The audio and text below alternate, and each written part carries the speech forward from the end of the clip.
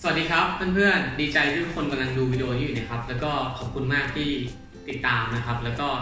ช่วยกันกด subscribe เป็นกำลังใจของช anel นะครับ ยังมีเรื่องราวดีๆ ให้ดูกันอีกเยอะนะครับ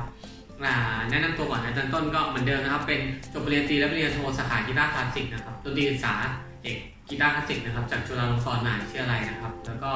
ปัจจุบันก็ทำงานเป็นอาจารย์สอนกีตาร์คลาสสิกที่มหาวิทยาลัยบูรพานะครับ แล้วก็ตอนนี้สอนอยู่นะครับปีหนึ่งปีสี่เลยสอนกีตาร์คลาสสิกแล้วก็สอนที่โรงเรียนนานาชาติแล้วก็มีโรงเรียนเลยนะครับอะวันนี้เราพูดถึงกีตาร์โปร่งตัวแรกที่ทุกคนควรมีหรือไม่นะครับยามาฮ่า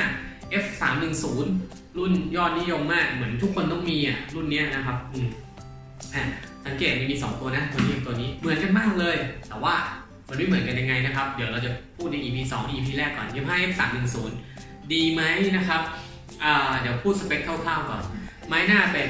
laminate spruce นะครับ คือยังไง คือเขาก็ตัดไม้ spruce solid นี่แหละ บางๆปุ๊บบางหัวกระดาษบางมันกระดาษอะแล้วก็เอาไม้อัดไว้ตรงกลาง แล้วก็แปะ spruce ไว้ข้างใต้ก็เป็น 3 ชั้นนะครับ laminate กันใช้ความร้อนอัดลงไปนะครับ เป็นไม้แผ่นหน้านะครับนะแล้วก็ bridge กับ fingerboard นะครับอ่าเป็น rosewood นะครับ แต่ว่ามันไม่ใช่เดียโรสบูดนะโรสบูดมันโรสโรสบูด R O S E W W O D เนี่ยโรสบูดแปลว่าไม้เนื้อหอมนะครับ คือมันมีหลายสายพันธุ์มาก แต่มันไม่ใช่ India rosewood ที่นิยมก็คือ India rosewood กับ Brazilian นะครับ แล้วก็อันนั้นราคาไปไกลแล้วก็ที่เขาใช้ไม้ทดแทนตัวนี้ pau ferro นะครับ แต่เนี้ยเขาเขียนว่า rosewood อาจจะเป็นของอินโดนีเซียก็ได้นะครับ แล้วก็ ไม้ข้างกับไม้หลังเขาเขียนว่าไม้นาโต้นะครับ นาโต้เนี่ยผมไปเซิร์ชดูแล้วมันแปลว่าไม้เนื้อแข็ง แต่ดูแล้วมันไม่ใช่ไม้โซลิดอะ มันเป็นไม้อัดนะครับ คอเป็นคอต่อแบบ 2 ชิ้นนะครับ ชิ้นที่1อยู่ตรงนี้ ตรงนี้เราจะมีรอยโค้งต่อแบบนี้ก็คือทำช่วยทำให้คอแข็งแรงนะครับ เพราะว่าไม้มันมันอาจจะไม่ได้ดีมาก เขาเลยต่อเป็น 2 อันให้คอแข็งแรงมั่นคงครับ ลูกบิดเป็นแบบไดแคชคือเหล็กหลอกขึ้นมานะครับนะครับ แล้วก็ fret เป็นแบบ medium นะครับ มี pickguard สีดำเอ่อสเปคคร่าวๆก็คือประมาณนี้ตัวเนี้ยมีคนเอามาให้ setup ผม setup เรียบร้อยนะครับ เปลี่ยนสายเป็นเบอร์ 12 Elixir นะครับ เบอร์เอ่อเบอร์ 12 รุ่น Nanoweb นะครับ เดี๋ยวเราลองฟังเสียงคอร์ดกันดูนะครับ ทุกคนชอบมันเพราะอะไร เดี๋ยวลองฟังนะฮะ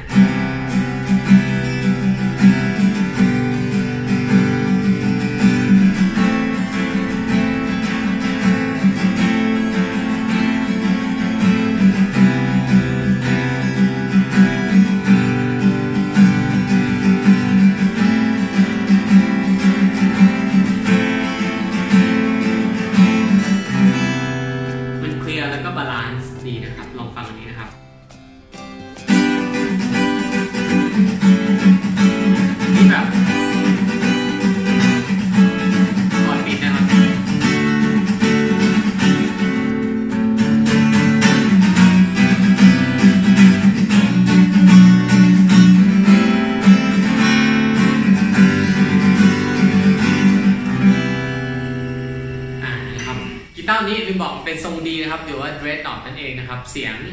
กลางกับเสียงเบสก็จะมา มันจะเน้นความเสียงดังเล่นกับร้องก็คือคือโอเคอะฟังเสียงคอร์ดไปแล้วลองฟังเสียงเกาๆบ้างแล้วกันนะครับ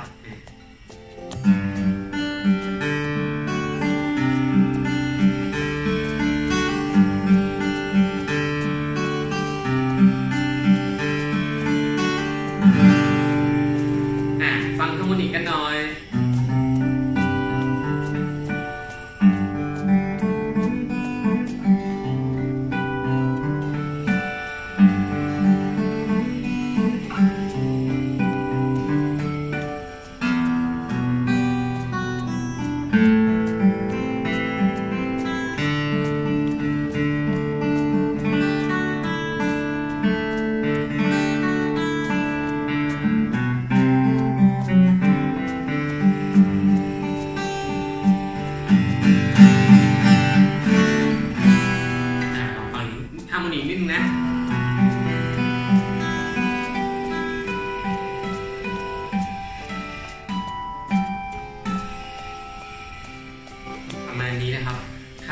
บ้านไม่รู้เสียงเข้ากล้องไหมนะครับอะโอเค ผมสรุปให้นะครับ ถ้าฟังเสียงแล้วเนี่ยเสียงมันมีความเป็นกลางๆคุณภาพเสียงเป็นยังไงหนึ่งเสียงมันนิ่งนะอาจจะด้วยจากการ setup นะครับ ถามว่าเล่นง่ายไหม ถ้า setup มาจากโรงงานเนี่ย อันนี้ผมเซตแล้วนะ ถ้า setup มาจากโรงงานมีง่ายบ้างยากบ้าง เพราะว่าเขาไม่เสียเวลาเซตให้หรอก มันเป็นกีตาร์ระบบอุตสาหกรรมนะครับ มันก็จะแบบทำมาแล้วอะ คนนึงทำตัวคนนึงทำคอ แล้วพอมาประกอบกันคนนึงใส่สายอะไรเงี้ยครับมันเป็นระบบ factory หรือระบบโรงงานเนี่ยมันไม่ได้มีเวลามาใส่ใจขนาดนั้น คือทุกคนทำตามสเปค แล้วก็คนที่ทำงานในโรงงานนั้นทำกีตาร์ไม่เล่นกีตาร์ไม่เป็นนะลองไปดูคลิปของอาจารย์ปราชญ์ได้ในในโอเวอร์ไดคนทำเว็บสามถึงศูนย์เนี่ยในโรงงานของอินโดนีเซียเนี่ยทำไม่เป็นตัวนี้ไม่อินโดนีเซียนะครับ ก็เก่าพอสมควรนะครับ คือป้ายป้ายเป็นสีครีมอะอืมตอนนี้ป้ายเป็นออกสีขาวๆเหลืองๆใช่ไหมแต่นี่จะป้ายเป็นสีครีมนะครับ น่าจะนานแล้วแล้วก็ท้ายเริ่มปวดนิดหน่อยนะครับ ถามว่าทำไมคนชอบ F310 หนึ่งนะครับ มันทนทานนะครับเเขาไม่รู้ทำยังไงแหละ มันมีกระบวนการคือบางบางกีตาร์เนี่ยกีตาร์ที่ดีมันก็ต้องทนใช่ไหมฮะมีความทนทานสูง F310 เนี่ยทนทานมาก รุ่นพ่อรุ่นแม่เราอะไรก็ใช้แบบ F310 หมดนะครับ คือมันมีมานานแล้วอะนะครับเมันค่อนข้างได้มาตรฐาน แต่ว่าคนก็ไม่ได้ค่อยรู้ข้อมูลมันมากเท่าไหร่อะไรเงี้ย คือยามาฮ่าเนี่ย เท่าที่ผมเปิดร้านเก็บเครื่องใช่ไหมอ่าหนึ่งร้อยตัวเนี่ยนะครับทำออกมาคุณภาพค่อนข้างเหมือนกันเนี่ย ผมว่า 97-98 ตัวเลยนะครับห่วยห่วยมีมาไหม มีตำหนิ มีอะไรอย่างนี้ก็มีนะ สักสองสามตัวจาก 100 ตัวนะครับ อืมเอ่อเพราะว่ากีตาร์เนี่ยเวลาแกะออกมาผมจะเอามาดูก่อนส่งลูกค้าเสมอนะครับแหม อันนี้พูดถึงคุณภาพนะ ถ้าเต็ม 10 เนี่ย ผมให้ 9 เต็ม 10 เลยนะครับอืมสำหรับแบรนด์ยามาฮ่าวัสดุนะครับอตอนนี้ยามาฮ่าณปัจจุบันเนี่ย ราคา 4,190 แถมกระเป๋าให้ คุ้มไหมในราคาผมให้ 6.5 ไม่ถึง 7 นะ เต็ม 10 เพราะมันมียี่ห้อที่ถูกกว่าและทำได้ดีกว่านี้นะครับคุณภาพมันก็ดีนะฮะประมาณนี้รุ่นใหม่นะ สังเกตง่ายๆ ถ้าเป็นรุ่นเก่าคอเคลือบแลกเกอร์นะครับอ่านดูเห็นไหมอันนี้มันจะเงาใช่ไหมเห็นไหมทุกคนส่องเห็นไฟใช่ไหมแต่คอมันจะส่องไม่เห็นอะไรเห็นไหมครับเคลือบซาตินนะครับเป็นแลกเกอร์บางทำให้เล่นง่ายกว่าเดิมนะครับ มันไม่ไม่ลื่นๆ ความทนมันเคลือบแลกเกอร์ body อะไรเงี้ยหมดเลยมันก็มันก็จะทนแต่ว่าคออาจจะไม่ทนนิดนึงแต่เล่นง่ายขึ้นนะครับถ้าเป็นรุ่นเก่าเนี่ยมันจะเคลือบแลกเกอร์หมดเลยนะครับ ความคงทนก็จะมากกว่านี้ ผมเอาให้ดูรุ่นเก่าเป็นแบบนี้นะฮะ สังเกตง่ายถ้ามันเก่าแล้วแลกเกอร์เราจะเห็นชัดเจน เห็นไหมมันขึ้นฝ้าเห็นไหมครับขึ้นฝ้าคอเห็นไหม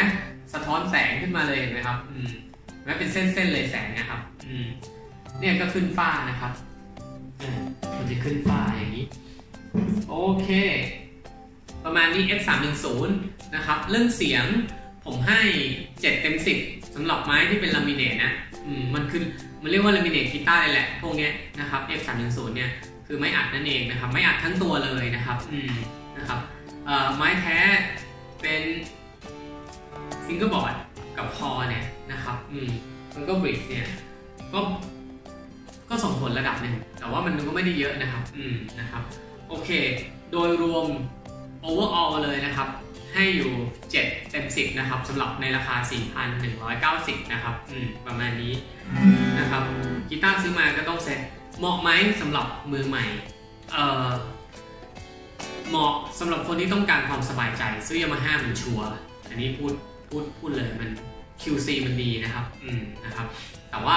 ถ้าพูดถึงผมผมดูเป็นใช่ไหมครับ ผมจะเลือกที่เสียงมากกว่า ไม่ได้เลือกที่แบรนด์เท่าไหร่ เพราะว่าตอนนี้ต้องบอกเลยว่าโรงงานทำกีตาร์เยอะมาก แล้วยี่ห้อที่เราเห็นนะครับบางทีก็ทำโรงงานเดียวกันแค่ปั๊มตรายี่ห้ออื่นเฉยเช่นแบบ ไม่ยกตัวอย่างละกัน เดี๋ยวเขาฟ้องนะครับก็คือมันมีโรงงานตั้งที่จีนตั้งที่อะไรเงี้ย เราไปสั่งกีตาร์เลยนะครับ สมมุติสั่งร้อยตัว ตั้งเป็นยี่ห้อ เช่น สมมุติว่าตั้งหลอกๆตั้ง Angel ยี่ห้อ Angel อย่างนี้อ่าออกมานะครับเนี่ยหรือว่าเออเซน